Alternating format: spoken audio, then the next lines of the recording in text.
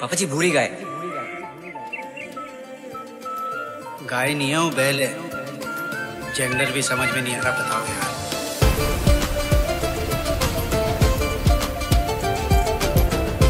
तू तो कहता तू सिर्फ़ उससे प्यार करता है अच्छा प्यार कर सकता हूँ सो नहीं सकता।